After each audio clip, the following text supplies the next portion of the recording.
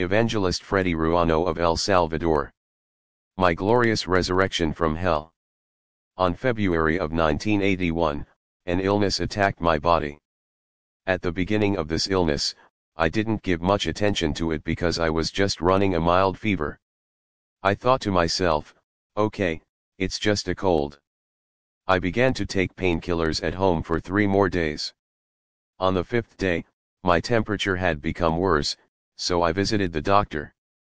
The doctor examined me and prescribed some medication and I went back home. I started to take the medications, but they didn't seem to work.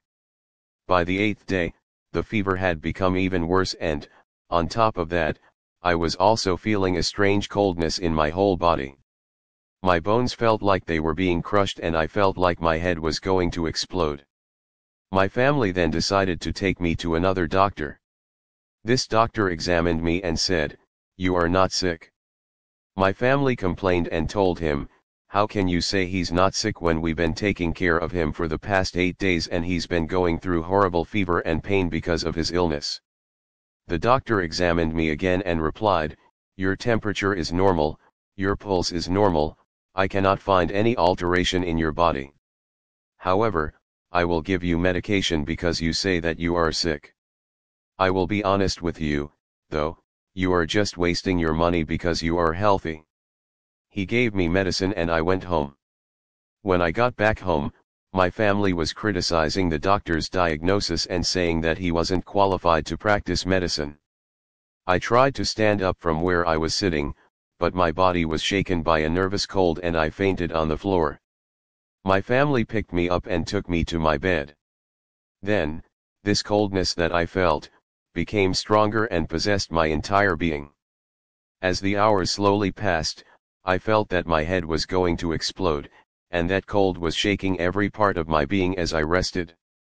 Praise God that my family members are Christians.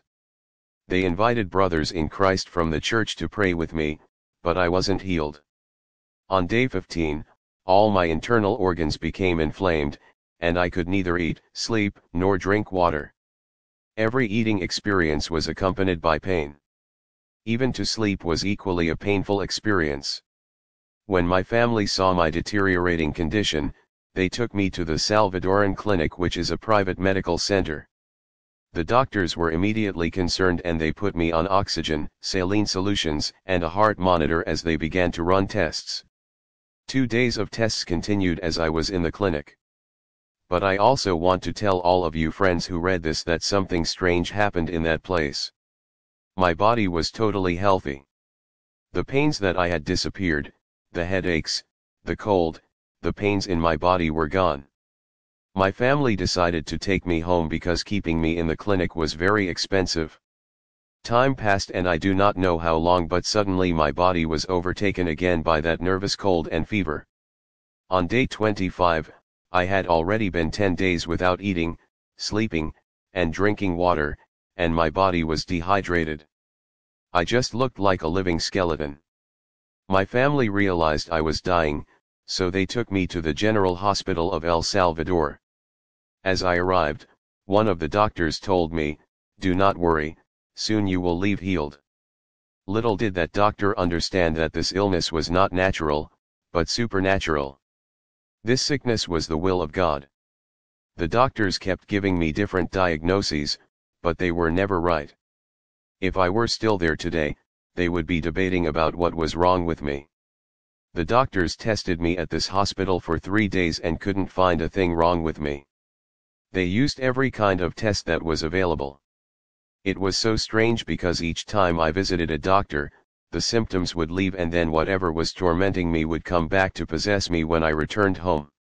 I arrived home and my family was even more concerned. They said, May God keep you healthy this time. May God keep that illness away from you and have mercy on you so that this will be your last visit to the doctor. However, the illness returned and on day 33, I died. I had a life-changing meeting with our Lord Jesus Christ, praise the Lord. On that day I was even worse. I had a fever that morning, but I fell asleep in the middle of the day. I had some rest for about an hour, and then that illness came back to my body. About 7 p.m., my mother had been praying for me. After prayer she said, My son, thank God the fever has left your body. Listen, since you do not want to eat or drink, at least try to sleep a little and rest.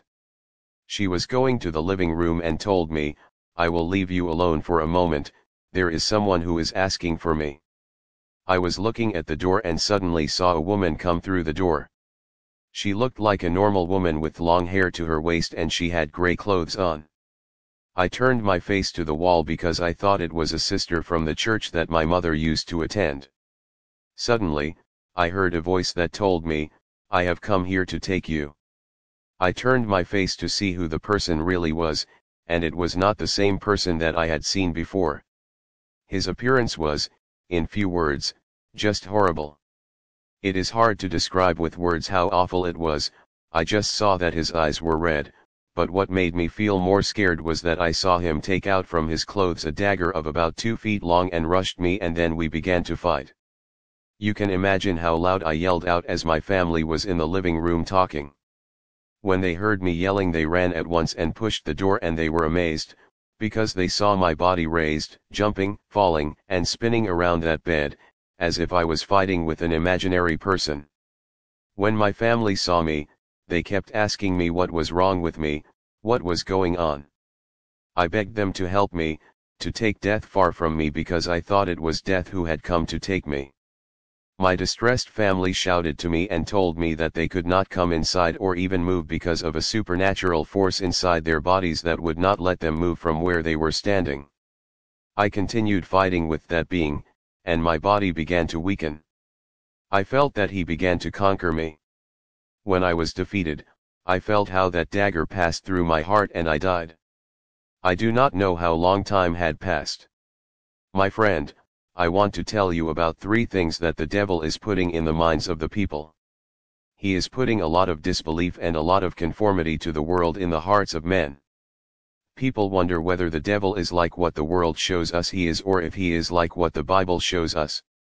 The devil wants people to believe that the soul does not exist. The devil says that the grave is the end of your existence, nothing more. He also wants people to believe that there is a purgatory where people will go to pay for their sins and then God will take them from there to put them in heaven with him. I want to tell you my friend, that these are some of the worst lies from the devil because in the first place, the soul does exist. Secondly, the grave is not the end of life, after this life, there is another life that is eternal. Thirdly, purgatory does not exist. That is a lie from the devil and an invention of men, because if a person does not repent, or move away from his sins and get close to Jesus Christ and settle the sin debt with God, he will have to go to hell like I did. When that dagger went through my heart and I died, I do not know how much time passed afterward, but my soul, my true personality started to leave my body. The real personality is not the one that you can see and touch, but the real person's personality is the soul. The soul is the one that feels, sees, reasons, hears, and also is the one that will have to stand once and for all before the Lord to give an account of one's deeds on the last day. I began to leave my body and to float in the room. I could see my brothers crying and shouting that I was dead. I could see my mother on her knees crying before the presence of the Lord and I could also see my own body pale and rigid on that bed. Inside that room, I contemplated the world for one last time, and then I began to feel that something was pulling me like a magnet with darkness that began to cover me. I wanted to run away, but I couldn't, this being was pulling me at the speed of light. I couldn't escape even though I wanted to. Toward us, I could see some kind of mountain, and when we got closer I could see an opening like a crater. At the bottom of that crater, I saw a reddish mass, that wanted to reach us. It was there that I saw the lies of the devil, and I also see that we had a soul and that the grave is not the end of everything, because my body was not yet buried in the grave when I was already entering that place. I could see also that there was no purgatory because I asked this being that took me there, what kind of place is that? He answered me, this place is hell, your home, and it is where you are going now. I began to cry out to God. I wanted to run away, but I could not because that door did not let me go. I started to say to death that I was a son of God, that Jesus Christ was my Father and that I was his son, and that he said in his word that everyone who believes in Jesus everyone who cries out to him could not come to hell because Jesus had prepared a special place for his sons. However, you who read this, I want to tell you something, especially for those who want to have the privilege of a position inside the church, for all of those who want to work in the work of God, or those who want to reach eternal salvation, be very careful of how your life is lived before the presence of the Lord. Before I had this experience, I spent seven long years of my life telling people that I was a Christian, but my deeds were the same as any lost worldly person. Why was I saying that I was a son of God? I will tell you what my life was like before. I was born with a religious background.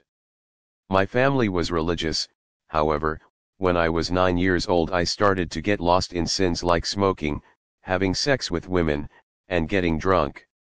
When I was 12, I became independent of my father and started to practice witchcraft, the occult, spiritism and the last thing that I practiced was the Rosicrucian faith.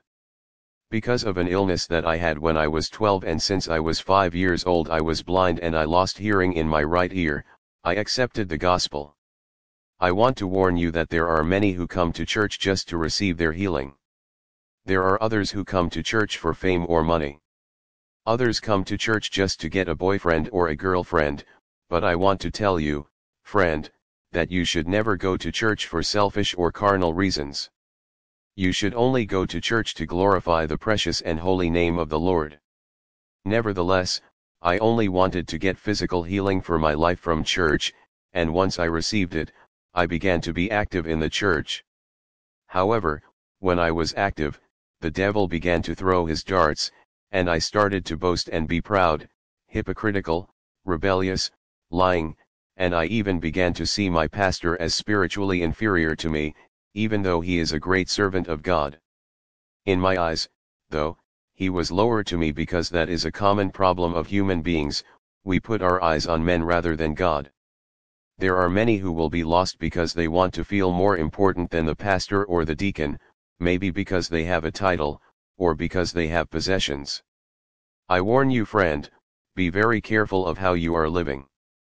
One day my pastor, guided by the Holy Ghost, told me, Brother, repent and bear fruit worthy of repentance, or else one day you will know what the hand of God is. I answered him, How can you judge me if you are worse than I am? That is a major problem of human beings, millions of souls are lost because they put their eyes on the actions of men and say, Oh! If Christians are like her, I better stay how I am now. Others say, I won't go to church until they change the pastor or remove the deacon. I tell you today, my friend, set your eyes on Jesus Christ who, alone, will grant you salvation. That is why when, I was at the door to hell, because of all my wickedness and sinful deeds that I had done, I told death that I was a son of God, but death answered me, if you were a son of God, God would never have allowed me to bring you to this place. We began to go down and when we came to the place, I could see that it was covered with darkness and smoke. When death stopped, the darkness was drawn back like curtains. I then began to go inside and feel that fire and steam, and a mass that was melting something like boiling honey. I began to feel and hear the screams of millions and millions and millions of souls in that portion of hell. Death began to get ready to throw me into hell and when he was about to do it, right behind us a strong and powerful voice sounded, a glorious voice of the Lord that said, Stop there. When that voice sounded, the place where we were shook tremendously and death ran away from the presence of that wonderful being. I wanted to see who was the voice that sounded with so much authority that even death ran away from his presence. I wanted to see the face of the person that with his very voice made hell shake. When I turned to see him, I just saw a very strong light, and I could not see anything more. I just heard that he got closer and told me, Why are you saying that I am your father? Why are you saying that you are my son? It is true that I died on the cross in Calvary for your sins. It is true that I raised from the dead and brought the dead with me, but if you were my son, you would listen to my words, keep my commandments, and you would live a holy life. My sons are not adulterers, immoral people, idolaters, blasphemers, or drunkards. They do not practice witchcraft, boast, gossip, quarrel, create division, nor are they prostitutes, homosexuals, or thieves. All of them, absolutely all who practice these things belong to their father the devil. I felt like that voice was about to destroy me, and going to strike me dead. I thought this voice was going to send me to the bottom of hell. Fortunately after this, my friends, that hard, sharp, and powerful voice began to change into a melody, and then I could feel such love and tenderness, it felt like his voice came to me like a fresh breeze that caressed my body with a beautiful fragrance. Hallelujah! I began to hear him saying, Look, since you have had mercy on others, you have been given mercy and one more chance for your soul. Praise the holy name of Jesus. I want to tell you my friend, the Lord told me, Fredy Ruano, I didn't like how you prayed, fasted, or watched, nor how you gave your offerings and your tithes, or how you preached. Because the Bible tells us that, whatever a man sows, that shall he also harvest. I had been sowing wickedness, so the harvest was eternal punishment. The Lord was very clear to me when he told me that I had one chance given to me only because I had mercy for others. Those others, he was referring to were all of you, my friends, who listen or read what I am telling you. For the sake of humanity, God allowed this miracle to happen so you can be warned that there is a place of torment and so you can repent, depart from sin, and escape eternal condemnation. If you do this, you will have the chance to enjoy Jesus for eternity. Just because of God's mercy all of you can listen or read this testimony. The mercy that we have been given today is for the purpose of magnifying and glorifying the holy name of God. Then the Lord told me, Look at the place where I have rescued you from. He made me go down to the bottom of that place. Then I began to feel death cover my body with flames, and I was suffocating. I wanted to escape, but the flames scorched me as it shot me up, and the flames caught me again. Suddenly, I began to look around me at the millions and millions of souls who were in the same torment as me. I could see the Lord Jesus high above me and souls cried out to him and said, My Father! My Father, let us out from this place for at least a moment. Those souls who were there would be content to be released from torment for just one moment. I want to warn you that you must make the most of the time you are given and use it wisely on the earth, because when these physical bodies die then there will be no more chances. The idea of being able to pray a dead person out of hell is a lie from the devil, not even with fasting and prayer or tithes, offerings, selling your possessions, lighting candles, ringing bells, nothing. We cannot help them any longer after they die. I will explain it to you this way. When all the souls were crying out, then the Lord took me out and turned his back to the rest of the souls as if they were not there. Then, he began to show me how the world was in its wicked delights. He told me, Go, preach my word to others, tell them to repent and to depart from sin. Tell them that the place where they are walking to is hell. Tell them that hell is not like the devil describes it to people, he wants them to believe that there are women, dancing, and music. Tell them that if they think that the fire of earth burns, tell them that this place is increased by thousands of degrees in heat and the eternal condemnation is not temporary, not for one day, one month, or one year, tell them that the condemnation is clear because it is eternal and forever. I want to warn you. That's why you have to make the most of your time, because as long as you live, there is still hope, praise the Lord. Earth is the place where you put the stamp in your passport to the place where you want to go, either hell or heaven, you choose. In hell's fire, there's not only physical torment, but there are two other factors that torment people, their own conscience and guilt. The conscience torments because it remembers how many times they passed near a Christian church, how many times they were given a tract, how many times they were preached to, how many times they heard someone telling them about Jesus and they made fun of it, and then they began to regret because their conscience accuses them. Then they blaspheme against God, against their parents, and they begin to curse anyone they see, and if they can see any friend, they accuse each other and say, It is your fault that I am here. You never told me about this place. You just taught me to smoke and to do evil. It is because of you that I am here. God, however, wants you to escape this eternal condemnation. After this, I saw a street, with hundreds of people with Bibles under their arms. As they gathered together, they were pulling each other out and they got inside again. The Lord told me, Go and tell these wicked ones, that they have to repent from their hearts, and not just with their lips as they are doing now. The Lord began to say, Tell them that they are not my sons because they carry Bibles, because the sons of the devil walk also with Bibles and practice their rituals. Tell them that not because they pray, fast or watch, they have guaranteed their salvation. If their hearts have hate, resentment, hypocrisy, anger, fighting, pride and arrogance, lies, rebellion, I won't accept their sacrifice the Bible tells us in Matthew 5 23-24, when you bring your offering to the altar you remember that you if have something against your brother, leave your offering there, and go and reconcile with your brother first, then come back, and Jesus will accept it with joy. Hallelujah. Next, he said, tell them that not just because they have a position in the church, not because they sing nice, not because they preach nice, or give offerings or tithes, or the paralytics are healed, or that the mute talks, that means that they are saved because tell them that if in their hearts is pride, hypocrisy, rebellion, and lies, they will be just as bridges for other people to be saved, but they with all their pride will go directly to hell. Tell them, that I want their hearts and their minds in the churches, not just their bodies like they are doing today. Because today, their bodies are in churches, but their minds are in the matters of this world, in the desires of this world, or in the works of their homes.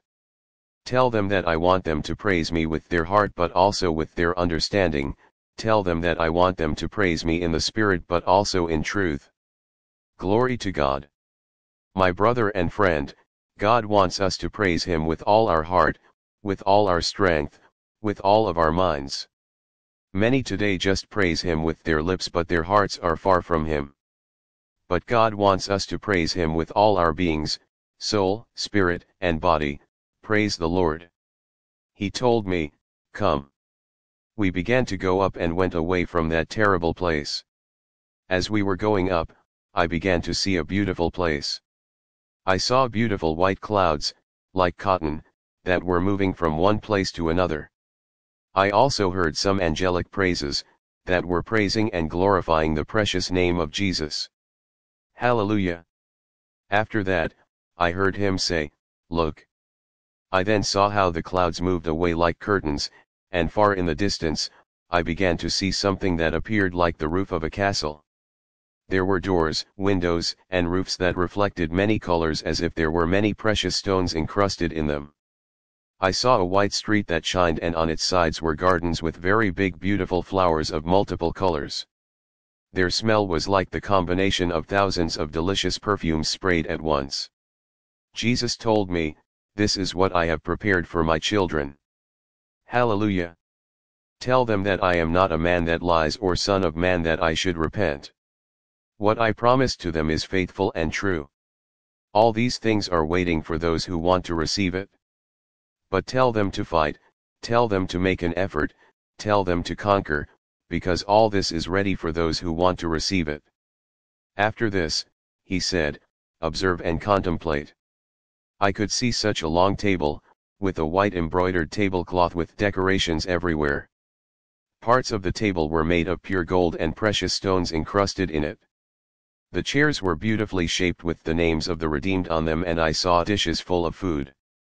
Then I heard him saying, This is what I have prepared for my children. Tell them again, that I am not a man that should lie or a son of man that should repent. All this is waiting for all who want to receive it. If you don't have a place to live on the earth, don't be sad.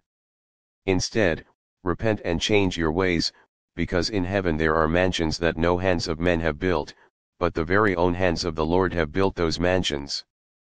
Praise the Lord.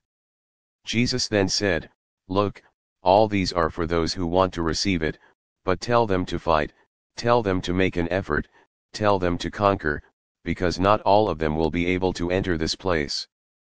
I saw that something like a sheet of linen was untied, and he told me, Give this message to those who begin the race and turn back. Tell them cowards will not inherit the kingdom of heaven. Go. Give this message to people who fall back and give up just as they are about to finish, almost at the end of their race.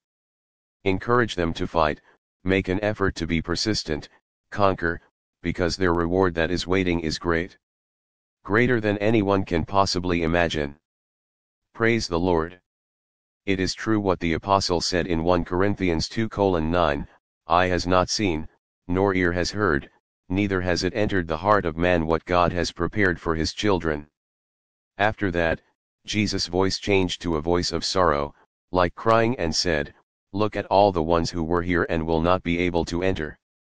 I want to warn you that it is not enough to be a holy roller or to be religious. It is not enough to say that you are a Christian, or that you carry a Bible under your arm, or go every Sunday to church. It is not enough to sing, pray, or fast. The most important thing is to run away from sin, live a life of fearing God, and live a holy life, a life that is pleasing to the eyes of the Lord. I can sadly remember right now, that when I was in hell, I saw a lot of my relatives. Do you understand how terrible this is? I had been praying for them. I had been lighting candles for them. I recited prayers for them thinking that I was going to take them out of hell and that they were now at peace with the Lord. To my utter shock, they are just burning in hell.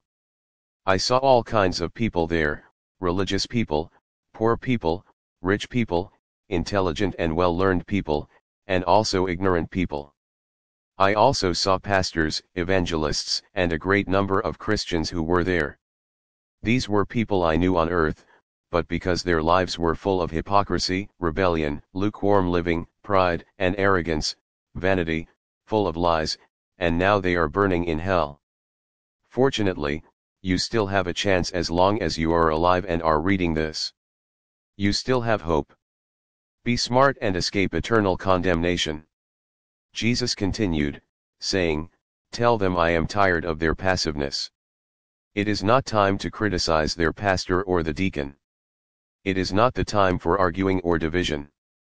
There is no time for vacations or time to watch TV. There is no time to go to church just two or three times a week. There is no time to be consumed with modern fashions. Enough. This is all garbage from the devil.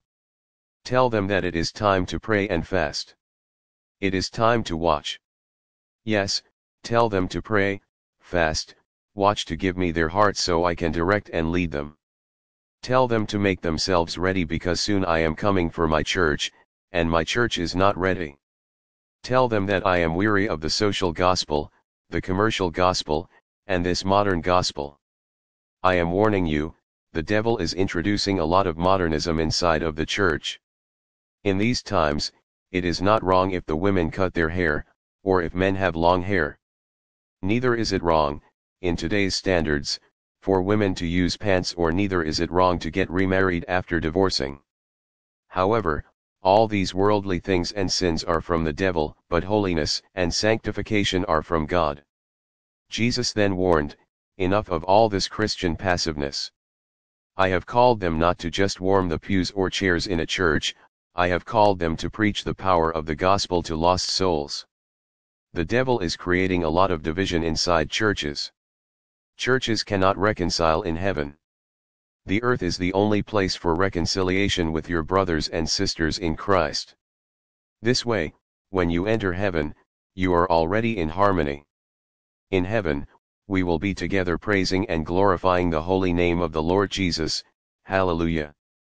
Jesus then said, I am tired of all the lies. People in the church lie as if they were a part of a lying contest to enter the kingdom of heaven. The devil is introducing a lot of deception to the hearts of men. People say today, ah, it's okay. It was just a little white lie, but no matter what kind of lie it is, that lie comes from the devil. The Bible tells very clearly that no liars will enter the kingdom of heaven. Then, Jesus said, I am so tired of their passiveness. I want them to truly forgive from their hearts, not just their lips, like many of them do. There are many who live a life of sin when the pastor, deacon, or family is not around. They come to church and think everything will be okay after a few minutes of praying and voila! They will be forgiven. Friends, soap cannot remove the eternal stain of sin. Neither can you flippantly pray with the intention of continuing a life of sin. God expects heartfelt repentance and confession. This will lead to salvation and holy life. Today, however, there are a lot of worldly and lukewarm Christians, even people with a position in church serving the Lord. Please repent. The hand of God's judgment comes upon the sons of disobedience. It is not important if you lose your position in the church. The important thing is that you make your heart clean before the eyes of the Lord, so when the trumpet sounds, we shall fly with Christ in the air. Jesus said, Tell them, that I want them to preach my word as it is written, without any changes, omissions, or replacements. The Lord told me that many times He gives a message to someone for the church, and if a certain brother or sister enters the church, the messenger thinks, oh, if I preach that now, she won't invite me to lunch with her. Maybe she won't follow my preaching anymore, or she or he will not come back again. The Lord says, whoever wants to go, let them. God wants those souls to be saved and not to go to hell. If God gives you a message, do not be afraid to give it, because if it is the word of God, it must come to pass. Who cares if they do not invite you to eat anymore or if they do not come back? Do not worry. You just preach the word, and give them the message. Otherwise, you will have to stand before the Lord to give an account of why you tolerated those sins. Jesus continued, Tell them that many of them preach that Jesus saves, but still have doubts about salvation. Many of them preach that Jesus heals, but the first moment they have a headache they immediately take aspirin from their bag. Tell them that I have the power to save and heal. Then Jesus confirmed his message to me with the following scriptures, 2 Chronicles 7:14, Colossians 3:5, James 4, Ephesians 5, Ezekiel 7, Ezekiel 13, Ezekiel 18, Ezekiel 33, Ezekiel 34, Jeremiah 7, Jeremiah 23, Amos 5:18, Amos 9:2, Zechariah 1:3-4, Micah 2, Micah 6:6, Isaiah 24, Matthew 7:21, Matthew 22:33-34, John 8:39, John 13:31, and 1 Peter 4:17-18. He then said, Go. Give my people the message and live it, because that is how you will reach salvation, with a life of holiness. I began to descend but, this time, I was not with the messenger of the devil. I was escorted by some angels that came down praising and glorifying the holy name of God. We came to the room, and when we got there, I saw a great crowd that was there. Some of them were laughing, some of them were eating, others hugging, and others crying. I saw my mother on her knees over my body, and I heard her voice saying, Father, if truly I am your daughter, my Lord, if you have received me as your daughter, perform a miracle, so that everyone here, who doesn't believe your word, will believe that you can perform miracles. I felt like something pulled me back to my body, and then I sat up on the bed. The first thing that I did was shout, Glory to God. Then I said to my mother, Mom, I am hungry. I was raised from the dead and healed for the honor and glory of God, praise the Lord, and I looked for something to eat. When I said, Glory to God, all the people turned to look at me. The sad part was, when I said, I am hungry, all the people began to run and trip over each other as they ran away. People who were outside and our neighbors came to see what had happened and they said, This is a true miracle. I am warning you all, Jesus is coming when we least expect him. The people at my home were not ready for such a moment like that. I died at 7.30 pm and I came back to my body at 11 am the next day and they were about to put me in a casket. I do not know if my mom had spent all night next to my body. My family said that my mom was acting crazy. They had to go to the drugstore and buy an injection to apply to her and calm her down, so they could put my body in a casket and take it to the cemetery. My mother was not crazy, she just knew the God she had trusted, and that same God is the one who we are praising and glorifying right now. In the beginning, I did not know what to do, but one night the Lord appeared to me and said, Look, you wicked servant, I gave you one more chance to take this message to the people, so you will do it, or else I will cut you off forever. Since that day, I haven't stopped preaching to the world that they have to repent and turn away from their sins, that there are an eternal condemnation and punishment. I also preach that the Lord has promised a celestial country for all those who repent and receive Him, for whoever departs from sin and evil. Jesus Christ has promised us forgiveness and eternal life, glory to God. If you have had the desire to get close to God, ask for forgiveness, and if you want to cry, just cry. Don't stop those tears before the presence of the Lord. Just pray, Our Father who is in heaven, I beg to you to have mercy on my soul. Forgive my rebellions and erase my offenses. I receive you as Savior and Lord. Please write my name in the book of life, Holy Father, let me be an heir of your kingdom. When you come back for your church, please make me worthy of going with you. Holy Father, in the name of Jesus, heal me of all sicknesses of the mind and body. By Jesus' stripes, I was healed. Thank you Father for the victory in my life. Amen.